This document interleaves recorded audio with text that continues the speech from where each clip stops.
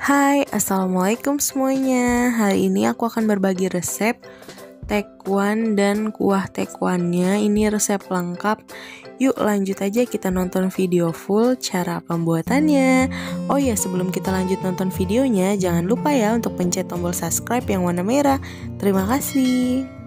Pertama, di sini aku siapkan daging ikan tenggiri, kemudian kita tambahkan air dingin sedikit demi sedikit sambil terus kita aduk ya. Nah, untuk resep lengkapnya dan takarannya sudah aku tulis lengkap di description box, bisa langsung dicek aja dan di screenshot.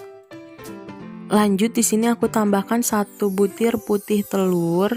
Kemudian kita aduk sampai tercampur rata. Di sini aku uleni menggunakan tangan ya dan pastikan tangan teman-teman bersih. Lalu aku tambahkan 2 siung bawang putih yang sudah dihaluskan, garam, penyedap rasa. Lanjut kita aduk lagi sampai tercampur rata. Setelah tercampur rata, kemudian di sini mau aku tambahkan tepung tapioka. Lanjut kita tambahkan sedikit demi sedikit dulu ya, nih sambil terus kita aduk. Adonannya cukup diaduk balik seperti ini aja ya sampai tepung dan adonan ini tercampur.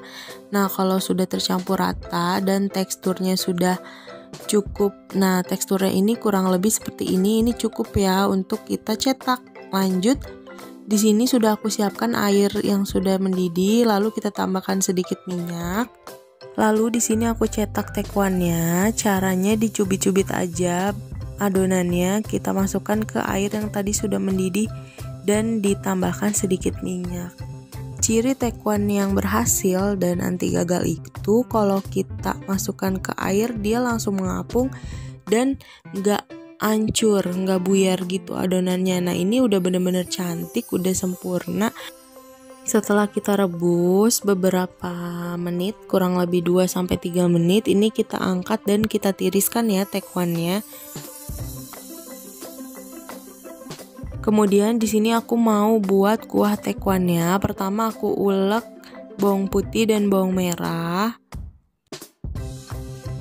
Setelah itu di sini juga aku siapkan ada sedap malam, jamur kuping, dan bengkuang. Nah, ini untuk topping isian kuah tekwannya ya. Pertama aku iris-iris dulu jamur kupingnya. Nah, ini udah aku cuci bersih semuanya ya. Kemudian kita potong juga bengkuangnya. Lanjut di sini aku mau buat kuah kaldu udangnya. Pertama kita tumis dulu bawang putih yang sudah aku cincang, kemudian kita tambahkan kepala udang dan kulit udangnya. Lalu kita sangrai atau kita tumis sebentar sampai berubah warna. Lanjut masukkan air, ini kita tambahkan air secukupnya aja. Nah, kemudian kita masak sampai kuah kaldu udangnya ini keluar. Lanjut, di sini mau aku tumis bawang merah dan bawang putih yang sudah tadi kita haluskan. Kita tumis sampai harum dan kecoklatan. Kemudian aku tambahkan ebi yang sudah aku haluskan juga. Di sini kita lanjut tumis dan aku tambahkan udang yang aku cincang dan udang utuh. Kita masak sampai udangnya ini matang ya ditumis. Ini kuah kaldu udang yang tadi sudah kita buat ya. Kemudian kita saring kulit udang dan kepala udangnya lalu kita masukkan bumbu yang tadi sudah kita tumis. Nah ini kita biarkan dulu biar sampai mendidih lagi airnya Kemudian kita masukkan topping isian tekwannya. Di sini ada jamur kuping, lalu ada juga bengkuang. Aku tambahkan juga sedap malam. Ini sedap malamnya sudah aku rendam dulu di air panas ya. Lalu kita tambahkan juga daun seledri. Kemudian kita masak sampai isiannya ini matang dulu. Jangan lupa tambahkan garam, micin, lada bubuk atau merica. Dan aku tambahkan juga penyedap rasa sesuai selera. Setelah kuah tekwannya matang dan isiannya juga sudah matang, di sini aku masukkan tekwan yang sudah tadi kita buat. Oh ya, sebelum masukkan tekwannya jangan lupa dikoreksi rasa dulu ya.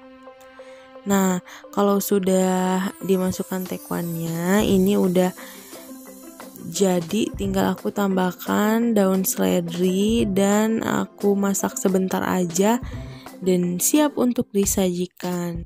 Untuk pelengkapnya di sini aku pakai soun atau bihun. Nah, ini kita tuangkan tekwan yang tadi sudah kita buat. Untuk pelengkapnya aku juga pakai sambal ijo yang aku bikin sendiri dan jeruk nipis ini.